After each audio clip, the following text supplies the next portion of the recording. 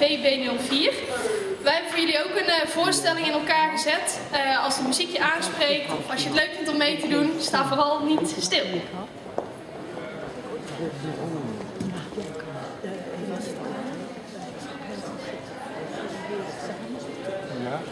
dat is dat